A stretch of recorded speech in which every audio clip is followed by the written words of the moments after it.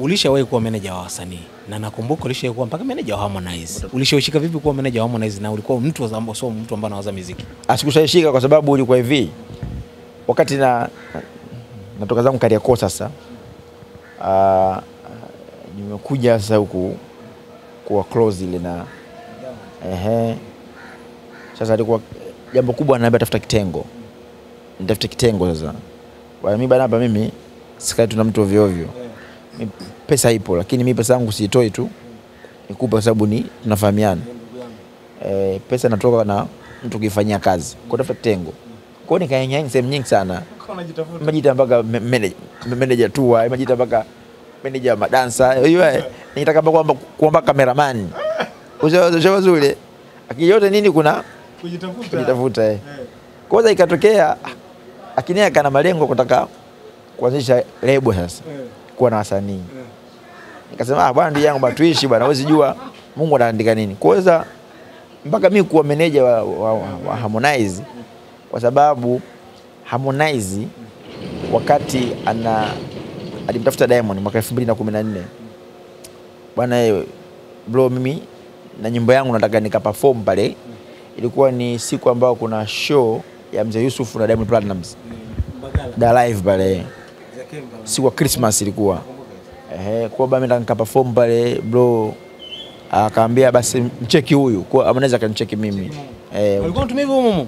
eh, Ricardo Moyo hilo. Kwa hivyo nicheki mimi mimi nikampokea kweli, kwa akananitumia nyimbo nyimbo yake ile nini, mpaka siku ile ifika tukio, akanipigia simu, nikamwokota pale, nikamchukua, nikamwingiza ndani, nikatoka hapo tukaingia mpaka ukumbini pale, nikaongea na, na, na wale, wa- wa- wale waandaaji wale, nikachukua CD yake nikawapa CD. Baada hapo nikamwacha akapa fomu pale mchana, sio na usiku, akatuma clip kwangu, akatuma clip kwa, kwa Diamond. Diamond akabidi acheke, sema sasa dogo kanitumia bana, jinsi anavyo perform. Sasa nikasema ah, na perform nini, akati ndo kwanza amemtu ambaye nimfahamu ndo anaanza, lakini sio sio mbaya, ndio ndio mwanzo. Basi baada hapo hakuwa mwenye kukata tamaa akaendelea ku tumojeni ni kwa ni kwa mshamba jomi kuna mpaka voice note zile ningezihifadhi vest note zake kama ningekuwa ningekuwa mshamba unajua kuna ule ushamba unaitwa ile au una dhamira mbaya kwa mtu ile ya kumdhalilisha unasojua unambwaga tu eh lakini voice note zile bana blow bana vipi hapa bana nyimbo yangu ya kanatuma nyimbo zile zile ah mimi ngamba Diamond bana dogo bana nafahamu vizuri najua huyu afu sio kuwa na lebo. Kwa nini tusianze nayo? Mimi maana huyu ana IQ, anajua kutunga nyimbo, mwandishi mzuri, njia anazo. Akamwambia "Ah, haina shida, we we, we muholdi kwanza, we, yani wewe. Eh, afu mimi kwa bahati mbaya ndo wakati kule ndo ikaja tena maradhi ya bi ya, mama yake, kwa ikabidi sasa mimi ndo ninadili naye sasa ule kijana, bana, subiri ndege uko wapi? Njoo hapa sehemu fulani, kuja pale, njoo tupo huku, anakuja bana, mradi nimkutanishe tu na Diamond, haiwezi kuiona tu sura yake mara kwa mara ili amkumbuke. Na kweli nifanya sana hiyo kazi, lakini kwa wasanii hawezi kukwambia, jua hawezi kukuelezea, sababu mtoto amsikute anayefanikiwa huwa hawezi kukumbuka shida, atakumbuka shida ambazo zilimkera yeye, sio watu walivyompambania. Upo bro eh? Eh, nakupa hiyo. Zile zilizomkera yeye atazikumbuka zile. Alinifanyia hivi, alinifanyia hivi. Alifanikiwa. Sio ile watu kwamba walimpambania ile aweze kukumbuka. Kwa hiyo ile ilikwenda ile kwamba sometime bana big vipi bana bana namba njoo fulani kuja hivi ah, fresh nini mpaka ikapatikana ile ile bondi Diamond kusema bwana, sikiza sasa mdogo wangu. Sisi bado tutakuchukua utakuwa msanii lakini ninavyokuchukua bwana huyu mtu ndo kupambania huyu. Kwa hiyo nawe ndo utakuwa mmoja pati ya msimamizi wako. Shamba mzuri. Basi mpaka fika mimi ananiambia bwana, mimi ah bwana mimi sina sehemu ya kulala unajua. Akaniambia ah sasa kwani useme kati ofisi tunayo kubwa tu hapa? Nikaongea na Diamond bwana huyu mtu ana sehemu ya kulala. Akaniambia basi ah, kwani useme sasa? Mambo kalipo elfu thelathini sio akachukua vitu vyake alienda kuchukua kitanda tu kitanda akahamishia kati ofisi kwa Sinza akahamia pale Sinza basi baada hapo ndo akaanza baada hapo sasa ndo akaanza kuwa kuwa kupata ukaribu na, na Simba mpaka kwenda akahamia Madare kabisa, akakaa Madare vizuri na Simba, asubuhi nazunguka naye nini mzunguko nini mpaka kwenda kufanya nyimbo. Nini ambacho huwezi kukisahau kwa Harmonize? Ah, kitu gani ambacho siwezi kusahau? Ah, namshukuru na, na- na, na, na, na, unajua ah, unajua Na appreciate sijui mimi sijui mwenyewe kama appreciate appreciate, sijui mwenyewe ana appreciate kiasi gani, siwezi kufahamu. Na siku zote unaambiwa unapofanya, yani kuna, elimu moja nitoe kwa watu ambao wanafanya mabaya au wanafanya wema. Yani ukifanya wema haumsaidii yule uliomfanyia, wala ukifanya baya au, au, au mwaribii yule ambaye uliomfanyia, bali ukifanya wema unakusaidia wewe huko tuendapo kwa Mungu, kwa sababu ukifanya wema una malipo yako unapata kwa Mungu. Ushafahamu? Sasa usitegemee upate upate malipo kutoka kwa binadamu unayemfanyia. Wewe fanya kwa kusubiri radhi za Mwenyezi Mungu. Ukifanya baya, yale mabaya unayofanya shekhe, ina maana yana malipo yake huko kwa Mungu. Ushafahamu vizuri? Kwa hiyo usitegemee unapofanya baya utamfanyia yule baya ndio mtu peke yake tu, pia naye mwenyewe linakuhusu lile baya huko utapokwenda. Ushafahamu mzuri. Kwa mimi nilipofanya sikuhitaji kutaka kujua kama na appreciate au appreciate. Mimi nilifanya kwa sababu mwenyewe niliona ninafa, mimi niliona nitakuwa ni njia yangu mwenyewe ya kupata mafanikio. Shapa mzuri eh? Ndio maana nikafanya. Kwa nilivyofanya na kweli namshukuru Mwenyezi Mungu, nimetambulika sana. Ndio maana imekuwa ime- ime- imekuwa rahisi pia kuingia katika katika eh, kuingia yani imekuwa rahisi kupenya katika utangazaji kwa sababu nilipata kutambulika kwa kile kitu ambacho nilichoki kwa watu wengi walinifahamu kwanza Ricardo Mo yupi? Ah, ule meneja yake na fulani. Ule msomia mtu fulani. Nishafahamu zuri kwa pia na hii na- na- nashukuru pia hilo. Wakati mwingine siwezi upate hela shekhe upate tu mwanya na njia. Yeah, shekhe. Unaona vile vinatokea mtu na Diamond, umemlea kijana, vilikutachi vilikuumiza, na labda yani the way una- mtu anavyofanya, na wewe ilikuwa ni mmoja wapo mtu ambao umemlea na unajua ametoka wapi. Unajua, unapoishi na mtu kuna mambo M- m- mijua haya- haya haya mambo mpaka anatokea, mimi najua, najua yote, nafahamu yote. Ah, Sasa kuna wakati kwamba atatokea. ah, haya mambo eh, mpaka yanakuwa hivi, mtu si unakuwa unajua, mtu unajua, unajua, kuna- unajua, unajua kuna watu watu wengi ndio wamenyimwa inaitwa jicho la tatu. Jicho la tatu maanake sio fikra eh, kuna mtu inapomwona tu zinakujia fikra kwamba ah, mtu huyu mtu shafa mzuri huyu mtu shafa mzuri. Kwa mtu mwingine aka- akaonekana ana- na, ana tabia mbaya kwenye jamii, lakini ukamwona kwa fikra zake ndio ukasema huyu binadamu huyu.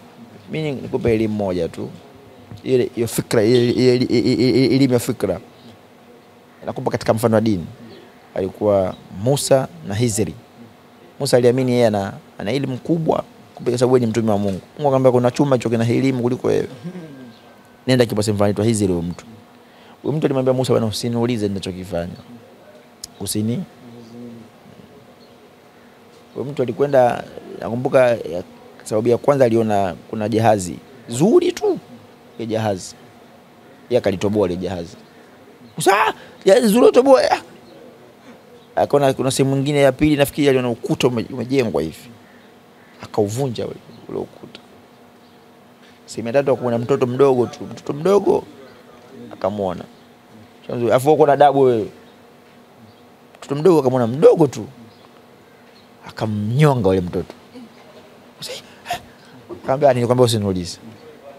Na mama Musa angetulia asingekuwa na haraka tungepata elimu kubwa sana. Kumbe elimu ya kwanza ile jahazi wahi kalitoboa. Kule mbele kuna mfalme anapenda majahazi mazuri. Umeona fikra sasa hizo eh? Elimu ya fikra nakuba hapa wewe ulikuwa una yeye. Anapenda majahazi mazuri. Akaona ile jazi lilivyokuwa zuri hili. Likenda atalichukua kabidi alitia kasoro ya kulitoboa. Ili mfalme akaona jazi zuri akili limetoboka. Umeelewa vizuri eh? Elimu ya pili kuvunja ukuta pale kuna mali na sikusai kuna mali pale. Akaona hizi mali hapa zimehifadhiwa na wazazi hawa watoto. Ila watoto wakikuwa atagombana kuhusu hizi mali hizi.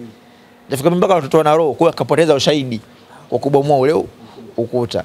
Yule mtoto alimuona akikuwa atakuwa na athari, atakuwa na mambo machafu atafanya katika jamii. Ushafahamu mzuri eh? Wakaona huyu ili kumnusuru mtoto pia na, na, na jamii shughuli maisha Umeona elimu nimekupa hiyo? Hiyo ni fikra. Sasa hiyo ipo pia mpaka kwa watu wa sasa hivi. Kuna mtu ukimuona tu unajua hapa kinachofuata kivumbi leo, kula chuma hicho. Maalim Zingizi. Eh, Wewe uliona nini? eh. Ah, mimi si- si- si- nimekupa tu elimu au ji- nimekupa elimu. Alikukosea chochote? Ah, ah. Nimekupa elimu. Hata si unasema leona. Wewe elimu yangu yule, eti bana, elimu yangu hujatosheka nayo. Sasa inawezekana wewe. Unaelewa elimu yangu Ah, nilokupa? Mimi nimeshakuelewa. Bas. Eh.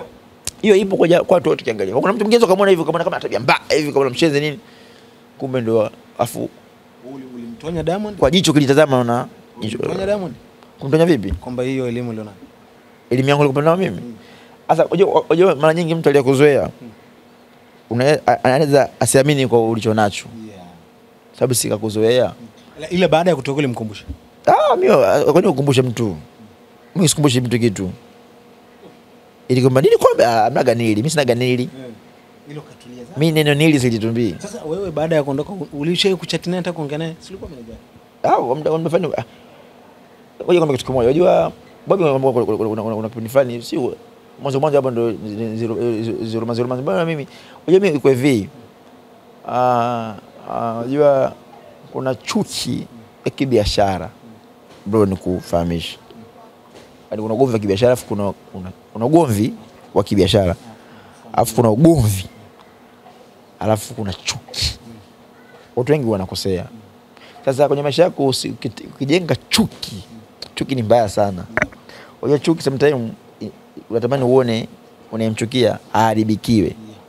Sasa ukiona unaendeleza chuki, utakuwa una haraha, kwa sababu utachokitaka yeye sio Mungu anachokitaka Sheikh, Kwa vizuri, kwa ugomvi nipenda kuwa na ugomvi na watu, lakini ugomvi wenyewe usio tu ugomvi usiokuwa na sababu wa kitu fulani. Shaba mzuri. Sasa ugomvi mara nyingi haufanyi watu kuchukiana. yani ugomvi mara nyingi ugomvi ulivyo, ukiwa una akili mtakwenda kwenye chuki. Ukiwa na akili hautakuwa na chuki.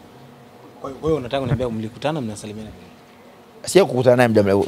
Hata kushana? Ah, sijawahi. Chuki. Ah, sijui kuna kati kwa vipi? Kuna mtu anaweza ajua akawa ipo upo- naye karibu hivi. Lakini mkampo karibu lakini asiye soiba yako.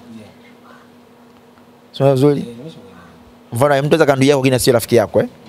Alafu mtu anaweza kawa sio ndugu yako kina rafiki yako. Mara nyingi watu huwasiliana kwa kushibana. Eh, au kama sio kushibana, basi kuna jambo linakutanisha, inabidi muwasiliane.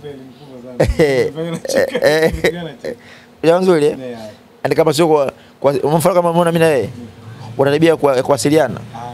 Sababu hatukushi- hatukushibana, ila tunafahamiana, tunaheshimiana, lakini leo hatuna uswaiba. Ah, ah, sema maalim kuna uswaiba na kushibana vitu tofauti. Yaani mimi sasa yangu rafiki yangu sababu nakufahamu, Yeah. unanifahamu nakufahamu, tuna- tunaheshimiana, tuna tunaheshimiana. Bana vipi wanakwenda hiyo kuheshimiana? Lakini hatukushibana kiasi ambacho kwamba kila siku tukawa tunawasiliana. Ila leo ila una uwezo wa kunipigia simu anytime, test any, anytime.